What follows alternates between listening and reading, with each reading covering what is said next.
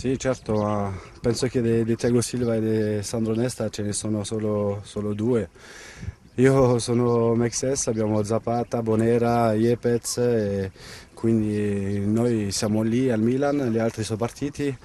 Noi guardiamo quello che c'è intorno e lavoriamo per, per, essere al 100% e per fare dimenticare quelli, quei grandi giocatori che, che sono stati quelli e, e adesso dobbiamo guardare avanti e noi indietro.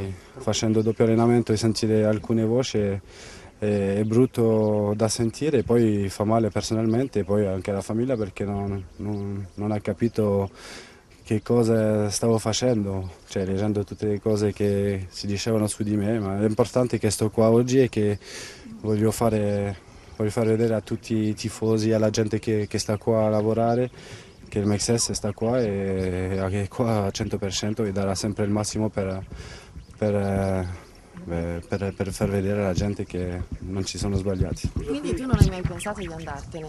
No, no, assolutamente no. Ho sempre pensato a, a recuperare il più veloce possibile e a stare sul campo il più veloce perché, come ho detto prima, cioè, per essere un calciatore così non c'è niente di più brutto di essere fuori.